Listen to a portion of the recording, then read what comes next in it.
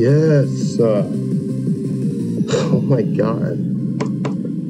It actually didn't take that long. No, no, I'm so like. it's probably because I got 53 to 95 like three, four days ago, and I've been trying to get this run ever since, and I just haven't.